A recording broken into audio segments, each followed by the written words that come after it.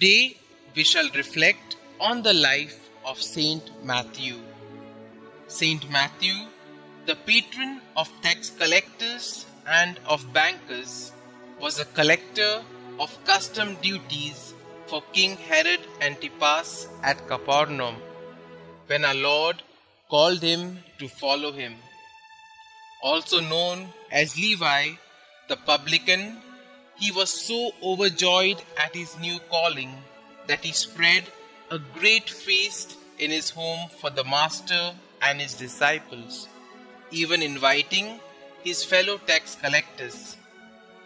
Jesus, to the amazement of the Pharisees, comfortably dined with the very people the leaders of Israel despised as extortionists and traitors, and would not even think of ever eating with them. Beyond these few facts, hardly anything is known about the life and the death of this apostle.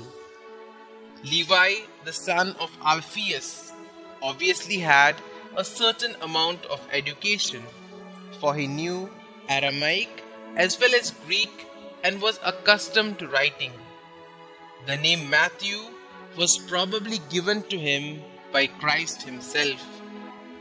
He was one of the first apostles to be chosen to set down in writing the essential events of our Lord's life and discourses as he himself had witnessed them and as they were being orally taught by all the apostles. In fact, it is generally assumed that when writing his gospel, Matthew had before him his own collection of our Lord's discourses in Aramaic. This original text, however, has unfortunately disappeared.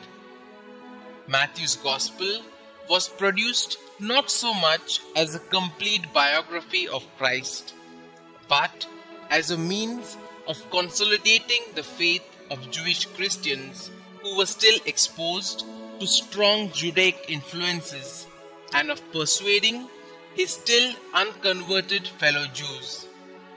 For this reason, using his gift of storytelling and writing in Aramaic, the language widely used as the lingua franca by the Jews and others in the time of Christ, he groups together all acts and precepts of a similar nature and stresses particularly that Jesus completely fulfilled all the familiar prophecies concerning the Messiah. Saint Matthew, whose relics are said to have been found in Salerno in 1080, is believed to have been martyred by stoning.